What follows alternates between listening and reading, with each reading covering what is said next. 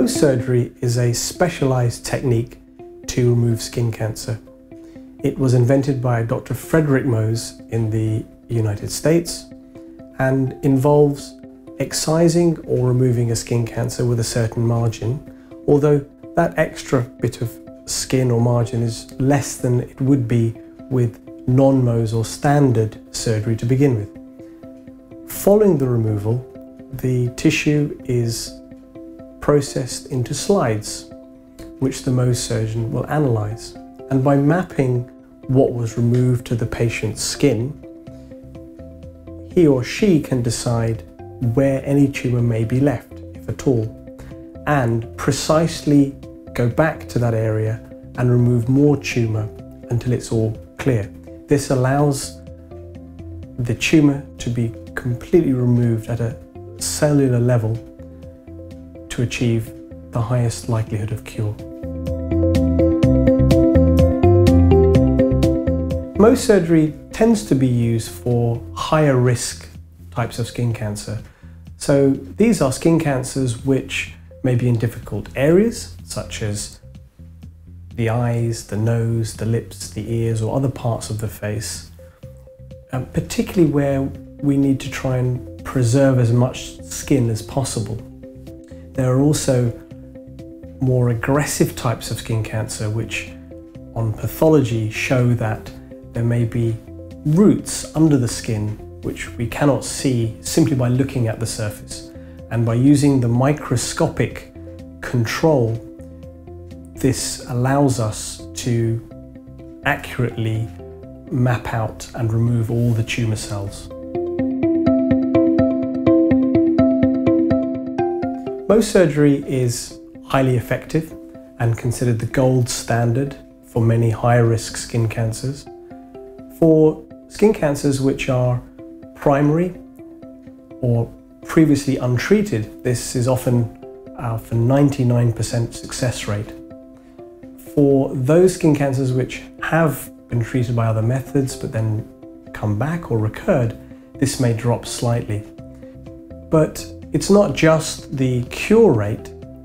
By sometimes taking less skin, we can create smaller wounds in a patient and potentially create more minimal scarring. So there are multiple advantages when it is used appropriately.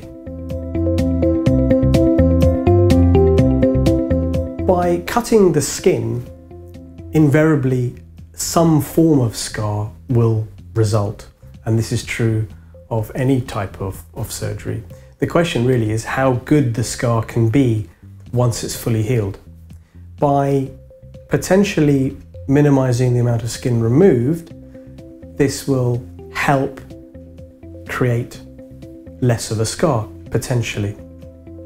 However, it's not necessarily the removal of the skin cancer by Mohs surgery which causes or creates scarring. It's the reconstruction or closure of the wound once the tumour is removed. And there are different methods by which this can be done. Sometimes when the wound is very small or superficial, it can in fact be left to heal by itself.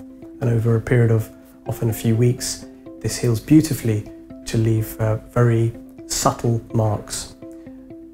Closing a wound with stitches, either side to side, or with techniques such as flaps, where cuts are made uh, in different directions to pull skin in, or a skin graft where skin is taken from somewhere else to then be sewn onto the defect to effectively resurface it.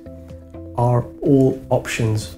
And depending on how well it's performed will determine uh, the degree of scarring but other factors such as how well somebody heals and occasionally we have unexpected uh, complications such as infection, which can all impact on the final degree of scarring.